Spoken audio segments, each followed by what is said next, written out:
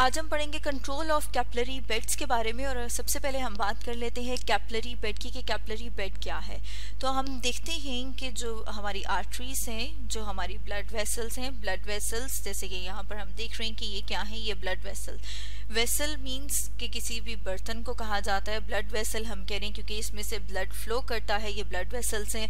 उसमें से हम देखते हैं कि वो जो कि ब्लड वेसल्स जो हमारे हार्ट से ब्लड को बॉडी के डिफरेंट ऑर्गन्स तक लेके जाती हैं, उन्हें आर्टरीज कहा जाता है। और वो आर्टरीज जो हैं वो फर्दर डिवाइड होती हैं। डिवाइड होकर वो कैपलरीज बनाती हैं। जैसे कि यहाँ पर हम देख रहे हैं डायग्राम में कि ये क्या बना हुआ है, फर्दर कैपलरी बेड। जो या फिर हम कह सकते हैं कि क्या है, इंटरवोवन नेटवर्क ऑफ़ कैपलरीज, जो क्या कर रहा है जो ब्लड को सप्लाई करता है बहुत सारे ऑर्गन्स और टिश्यूज तक।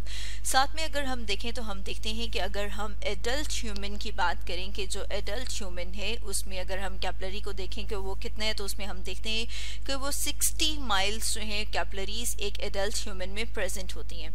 इसके अलावा अगर हम इन कैपलरीज के सरफेस एरिया की बात करें तो हम देखते हैं कि 800 टू थाउज़ेंड मतलब 800 से हज़ार मीटर तक का जो सरफेस एरिया है, वो कैपलरीज का होता है और अगर हम इसको कंपेयर करें तो हम कह सकते हैं कि ये जो एरिया है, वो तीन टेनिस कोर्ट से ज़्यादा है। मतलब इतना लार्ज सरफेस एरिया है हमारे कैपलरी बेड का।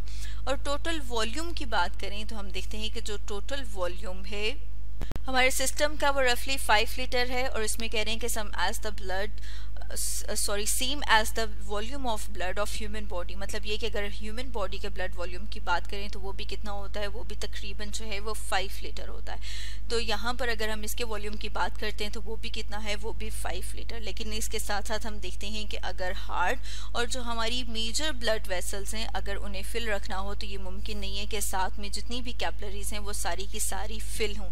तो फिर क्या होता है? किस तरह से इसको मेनटेन किया जाता है? उसमें हम देखते हैं कि कॉन्टीन्यूल रीडायरेक्शन डायरेक्शन होती है ब्लड की ऑर्गन टू ऑर्गन और वो किस तरह से मेंटेन की जाती है, वो बॉडी की चेंज के अकॉर्डिंग अब बॉडी में किस तरह से चेंज होगा, किस तरह से बॉडी की नीड जो है वो फ़र्क होगी, उसमें हम देखते हैं कि बॉडी जब रेस्ट पे होती है तो बॉडी के सेल्स को ऑक्सीजन और न्यूट्रिएंट की जो मकदार चाहिए होती है, वो फ़र्क होती है. इसी तरह से अगर बॉडी जो है वो रेस्ट पे नहीं है फॉर एग्ज़ाम्पल अगर हम एक्सरसाइज करते हैं तो एक्सरसाइज जब करते हैं तो उस टाइम पे हम देखते हैं कि जो हमारे स्केलेटल मसल्स हैं, उनमें जो कैपलरीज प्रेजेंट हैं, या फिर वहाँ वहाँ पर जो capillary blood sorry bed present है, वहाँ पर वो ओपन हो जाते हैं at the expense of the viscera मतलब ये कि जो हमारे विस्ट्रल रीजन हैं, वहाँ पर ब्लड सप्लाई कम हो जाएगी और उसकी बजाय ब्लड सप्लाई कहाँ पर ज़्यादा हो जाती है? स्केलेटल मसल्स की तरफ़.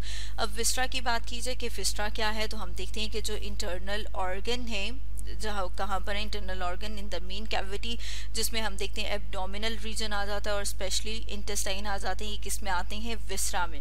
तो अगर हम साथ में यहाँ पर टेबल में देखें तो जैसे कि यहाँ पर हम देख रहे हैं कि स्केलेटल मसल्स की हमने बात की कि रेस्ट पे कितनी चाहिए। एमएलए पर मिनट में हम देख रहे हैं कि वो तकरीबन थाउज़ेंड है।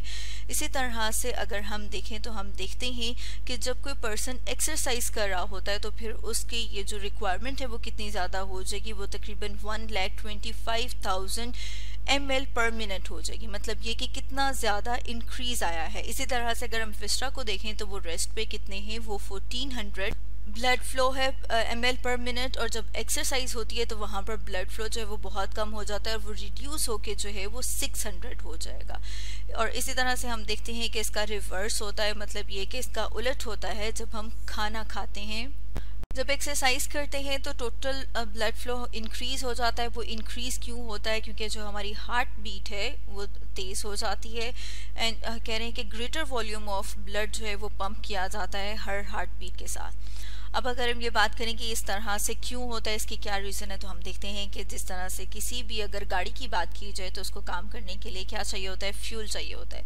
इसी तरह से जब हम काम करते हैं तो हमें भी क्या चाहिए होती है? एनर्जी चाहिए होती है। तो उसमें हम देखते हैं कि जो फर्दर हमारी बॉडी के जो सेल्स हैं, जब हम एक्सरसाइज करते हैं तो उनकी ये जो नीड है, ये जो ज़रूरत है एनर्जी की, वो बढ़ जाती है।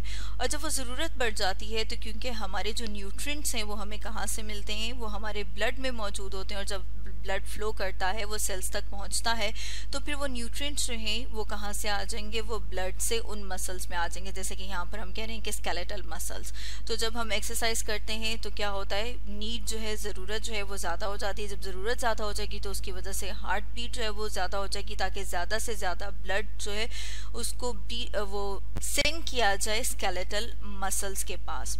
इसके अलावा हम देखते हैं कि जो इंक्रीज ब्लड फ्लो है या फिर हम कहते हैं कि इंक्रीज ब्लड सप्लाई है जो स्किन की तरफ़ होती है तो उसकी वजह से क्या होता है? हीट डेसिपेट होती है।